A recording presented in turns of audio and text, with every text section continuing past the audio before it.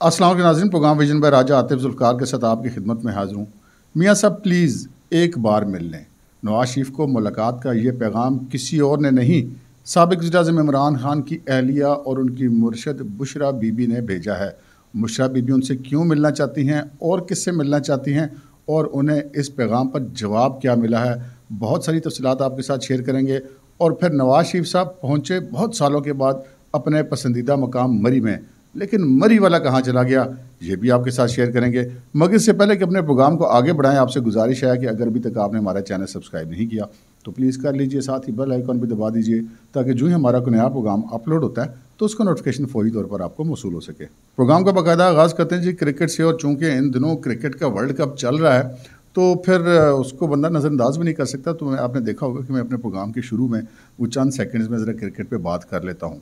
तो क्रिकेट पे बात कर रहे हैं जनाब हसब तो मुझे तो कम अज़ कम तो थी, आम लोगों को नहीं है, लोग उसको अपसेट कहते हैं कि पाकिस्तान की जो क्रिकेट टीम है, वो वर्ल्ड कप के मैच में अफ़गानिस्तान से हारी है और ना सिर्फ़ ये कि वर्ल्ड कप के मैच में अफ़गानिस्तान से पहली बार हारी है, बल्कि वर्ल्ड कप के अलावा भी मेरा ख्याल है वन डे में पहली दफ़ा अफ़गानिस्तान से पाकिस्तान की क्रिकेट टीम हारी है।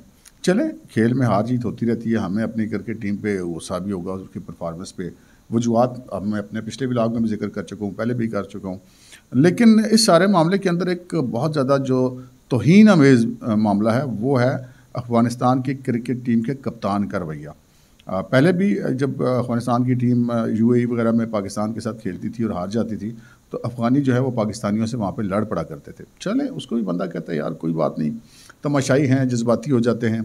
लेकिन उन्होंने तो सीखी क्रिकेट पाकिस्तान से है लेकिन जो आज उन्होंने किया कि एक वर्ल्ड कप जैसा एक बैन अवी टूर्नामेंट है और पाकिस्तान का जो एक हरीफ मुल्क है, पड़ोसी है भारत, उसकी सरजमीन पर ये हो रहा है, पाकिस्तान की क्रिकेट टीम के लिए। वहाँ पे पहले भी बहुत सारी मुश्किल मौजूद हैं। लेकिन मैच जीतने के बाद जब उनसे तबसरा किया गया तो अफ़गानिस्तान की टीम के कप्तान ने जो बात की, वो इंतहाई छोटी और बहुत ही घटिया हरकत की। उन्होंने कहा, जी, ये मैं जीत नाम करता हूँ उन अफवानियों के नाम जिन्हें पाकिस्तान से वापस भेजा जा रहा है, अफ़गानिस्तान के अंदर। ये सरासर एक घटियापन है। और आसान फरामोशी है। आपको ये नहीं देख रहे कि 40 साल पाकिस्तान ने आपके तकरीबन 35-40 लाख अफ़गानियों को पाला है। अगर आज वो कहता है कि यार आप लोग वापस अपने मुल्क में चले जाएँ, आपके मुल्क में अमन मान है, हुकूमतें हैं तो इसके अंदर आपको इतना गुस्सा करने की क्या ज़रूरत है और आप पाकिस्तान के ख़िलाफ़ भारत में खड़े होकर बात कर रहे हैं? तो ये एक घटियापन है। तो लिहाजा पाकिस्तान की टीम जो है ना, वो पैसे बढ़ाने की तो उनको बड़ी जल्दी होती है आखिरी वक्त पे आके ब्लैकमेल करते हैं कि जी पैसे बढ़ा दो। तो ज़रा इस चीज़ का भी देखिए कि अपने मुल्क की इज़्ज़त और बेजती का भी मामला होता है। आगे बढ़ते हैं, जनाब, अपने प्रोग्राम के जो दीगर मौजूद हैं, उनकी तरफ़ जा, आते हैं। जिस वक्त आप ये प्रोग्राम सुन रहे होंगे उस हवाले से अगर देखा जाए तो आज 24 अक्टूबर है और 24 अक्टूबर बहुत अहम दिन है। अहम दिन किस हवाले से? नवाज़ शरीफ साहब ने आज पेश होना है इस्लामाबाद के अंदर अदालतों में, अपनी ज़मानत के सिलसिले में भी और अपनी अपीलों के सिलसिले में भी। आप जिस वक्त ये प्रोग्राम देख रहे हैं, उस वक्त नवाज़ शरीफ साहब या तो पेश हो चुके होंगे या हो रहे होंगे अब ये नहीं पता कि आप किस वक्त देखते हैं प्रोग्राम। खैर नवाज़ शरीफ साहब ने जो अबूरी ज़मानत की दरख्वास्तें दायर की थी, जो हिफाजती ज़मानत या रदारी ज़मानत जिसको कहते हैं तो उस पर उनको चौबीस तारीख को दोबारा हाज़िरी का हुक्म मिला था। तो नवाज़ शरीफ साहब की सुबह आज हाज़िरी थी। और उसके अलावा एक तो उनकी ज़मानत की दरख्वास्तों की समात थी। दूसरा, आपको याद होगा कि नवाज़ शरीफ साहब जब पाकिस्तान आए थे तो लाहौर जाने से पहले वो इस्लामाबाद इंटरनेशनल एयरपोर्ट पर रुके थे, क्योंकि कुछ कागजात पे उन्हें दस्तखत करने थे और वो अलजीज़िया और फ्लैगशिप केसेस के हवाले से जो अपीलें थी, और वो अपीलें चूँकि दायर की जानी थी तो लिहाजा इसलिए वो यहाँ पर रुके थे। तो वो दायर कर दी गई।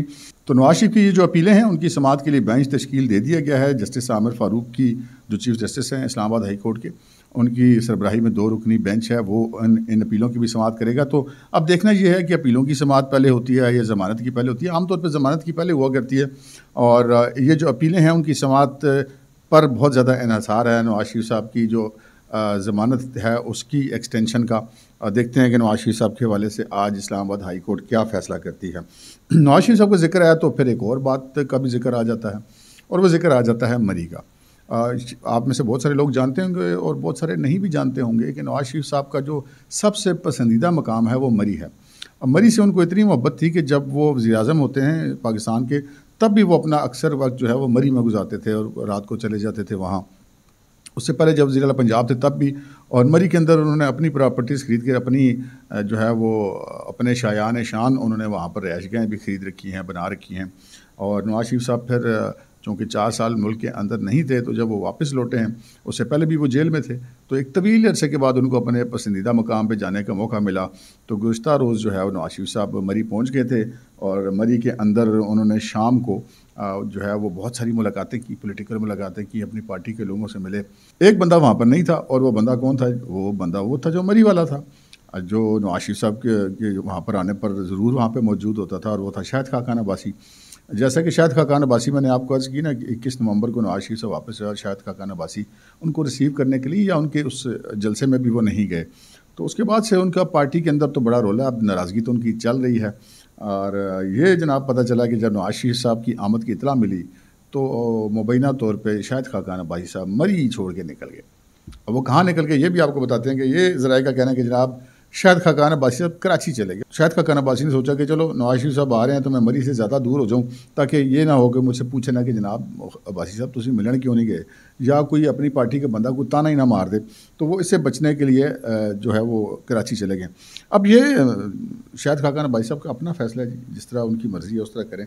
लेकिन बहरहाल नवाज़ शरीफ साहब ने जो है वो एक तवील अरसे के बाद मरी में पहुँचे हैं और वो उनकी पसंदीदा जगह, जैसा कि मैं आपको बता चुका हूँ। अब बातें जनाब, हम अपनी उस खबर की तरफ़ जो आपने थंबनेल पे देखी, और ख़बर यह है कि बुशरा बीबी ने जनाब, पैगाम भिजवाया है मुबैना तौर पर नवाज़ साहब को कि उनसे वो हर सूरत एक बार मुलाकात करना चाहती हैं।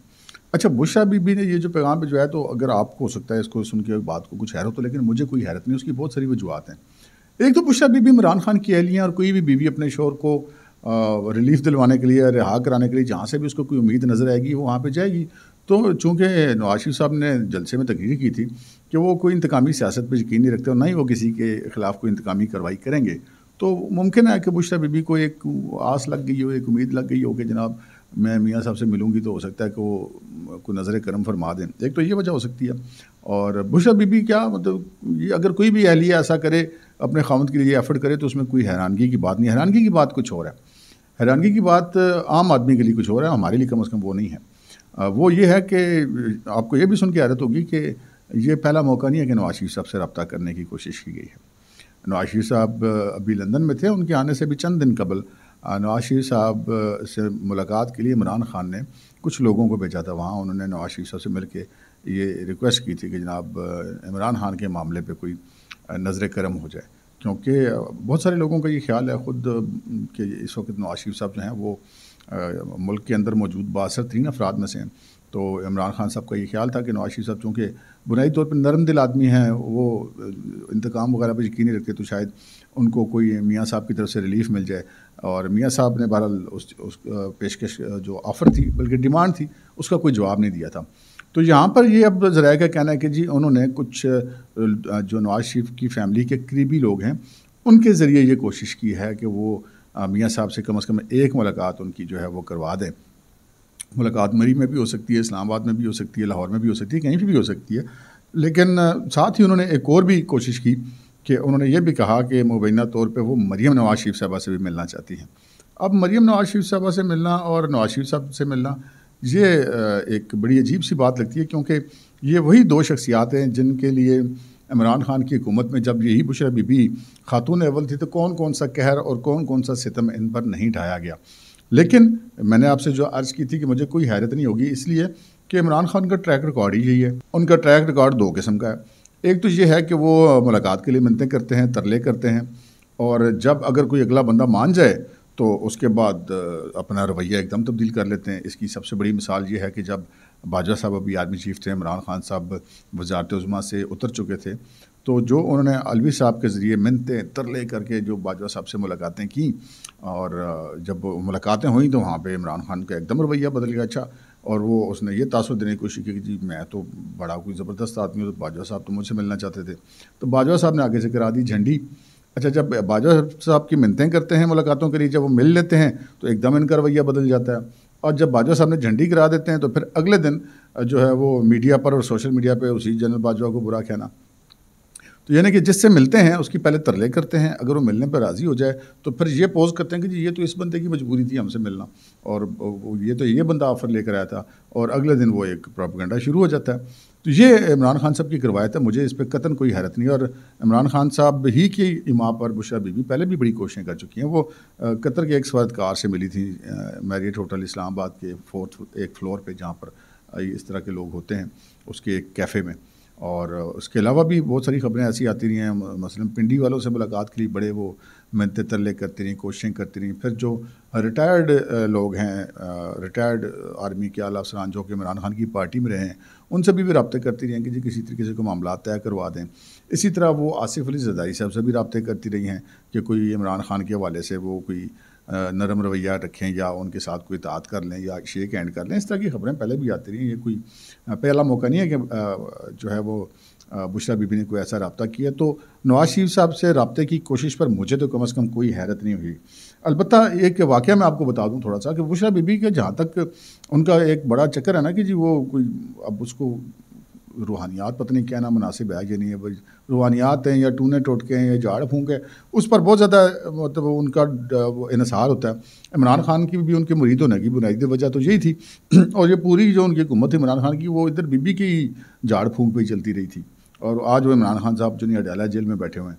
खैर तो ये जब एक दफ़ा, ये मिलने गए थे, इमरान खान जब वजी थे और बुशा बीबी खातून अवल थी तो ये उस वक्त के army chief general Qamar Javed Bajwa के घर उनसे मिलने के लिए गए थे। तो ये चीज़ें रिपोर्ट भी हो चुकी हैं कि, और वो ये लेके गए थे कि जी हम उम्र से आए हैं तो हम आपके लिए खजूरें और ये आप जमजम वगैरह लेकर आए हैं। अब बुशा बीबी वाले मामला जो थे ना, वो बड़े गड़बड़ थे और जब वो चीज़ें गाड़ी से उतारी जाने लगी उनको देने के लिए तो जनरल बाजवा साहब ने और उनकी अलिया ने इनकार कर दिया और ये चीज़ें उनकी वापस उनकी गाड़ी में रखवा दी और वो खाना खा के पर चले गए। तो उसके बाद ये रखवाने की वजह यही पता चली थी कि जी उनको अतमाद नहीं था, पता नहीं क्या कुछ पढ़ पढ़ा के ले आई होगी हमें तो वो उन, उधर का बता के कि जी बड़ी मुकदस जगह पर ऊपर से काम कुछ और हो। इसी तरह एक दफ़ा को बाजवा साहब ने अपने ज़ाती दोस्तों से मुलाकात में भी एक बात की थी कि उनसे पूछा गया था कि जी, बुशा बीबी के वाले से बड़ी खबरें आती थी कि वो आपके ऊपर भी बड़े कुछ जादू टूने करती रही हैं और वो गुड्डे शुड्डे भी बरामद होते सुइयाँ शुइयाँ तो ये बातें ठीक हैं। तो बाजवा साहब ने मुबैना तौर पर अपने ज़ाती दोस्तों को कहा था कि जी, बातें ये ठीक हैं। और तो मुझे कुछ समझ नहीं आई, अलबत्त एक ज़रूर होता था कि मुझे अजीब व किसी, गरीब किस्म की तकालीफ़ होती थी जिसम में जिन जिनका कोई सर पैर नहीं होता था, यानी कि ना वो किसी टेस्ट रिपोर्ट में आ रही, ना कुछ में तकलीफ़ हो रही है, मसला हो रहा है अजीब गरीब तो उनसे पूछा गया कि फिर आपने क्या किया इसका? कोई मतलब किसी पीर फ़कीर से रबता किया क्या? कि उन्होंने कहा जी, पीर फ़कीर से रबता करें, क्या ज़रूरत है? बस बंदा अपना नमाज़ रोज़ा पढ़े, कुरान पाक पढ़े और कुरान में वो जो है, वो चार कुल पढ़े, आयतुल कुर्सी पढ़े तो मैं तो उस तरह करके इन सारे मामला से बचता रहूँ। तो नवाज़ शरीफ साहब भी जो हैं, वो बुनियादी तौर पर एक दीनदार आदमी है, नमाजी आदमी है प्रसगार आदमी है। ये ये उनकी ज़ाती ज़िंदगी है, गच्चे कि उसका एक अलग मामला है। लेकिन भरल वो भी इस तरह के आदमी हैं तो उनको मेरा ख्याल है कि शायद अगर गुस्सा बीबी से मुलाकात हो भी जाए तो भी उनको कोई फ़र्क नहीं पड़ेगा। लेकिन इस मामले में मरीम बड़ी सेंसिटिव है, कि मरीम ने फिर इस तरह की औरत को नवाज़ शरीफ साहब से तो नहीं मिलने देना। वैसे नवाज़ शरीफ साहब उनसे खुद मिलने में भी कोई इंटरेस्ट नहीं उन्होंने जो जवाब दिया वो भी आपको बताऊँगे। और मरियम साहबा से भी मुलाकात करने भी उन्हें मैसेज किया है कि चले, चलें, वही मिल लें तो चल, कि अगर वो जो टारगेट अचीव करना चाहते हैं अपने हस्बैंड के रिलीफ के लिए तो वो मरियम के थ्रू होगा। तो यहाँ पर दो, तीन चीज़ें बड़ी इंपॉर्टेंट है। एक तो नवाज़ शरीफ साहब ने जो जवाब दिया, वो बड़ा हैरत अंगेज़ था। नवाज़ शरीफ साहब ने बुशरा बीबी का पैगाम लेकर आने वालों को ये कहा कि अगर तो बुशरा बीबी मिलना चाहती हैं अपने किसी ज़ाती मसले में तो मेरे सेक्रेटरी से मिल लें। और अगर वो मिलना चाहते हैं, इमरान ख़ान के हवाले से कोई सियासी मुलाकात करना चाहती हैं या कोई कानूनी मामला के लिए मुलाकात करना चाहती हैं तो इन दोनों मामला में मेरी तरफ़ से माजरत है। जी मैं उनसे नहीं मिलना चाहता। यानी मुलाकात से उन्होंने इनकार कर दी दोनों सूरतों में। एक सूरत में बिल्कुल नहीं मिलना, दूसरी सूरत में पी ए से मिल लेंगे, सेक्रेटरी से मिल लेंगे। तो मरीम साहबा के भी कुछ जवाब ज़राए का कहना है कि इसी तरह का मामला है। तो ये जनाब उन्होंने दे दिया है जवाब, और अब इस जवाब के बाद अब देखना है कि बुशा बीबी अब आगे क्या करती हैं। क्या एफर्ट करती हैं। बाकी बात वही है कि अब पेशी है नवाज़ शरीफ साहब की और पेशी या तो जो मैंने आपसे शुरू में की कि या हो चुकी होगी या हो, हो रही होगी। एक बात मुझे कन्फर्म है कि नवाज़ शरीफ कम अज़ कम सर पर बाल्टी चढ़ा कर नहीं पेश हुआ होगा। अब तक के लिए इतना ही। इजाज़त दीजिए। अल्लाह हाफिज़।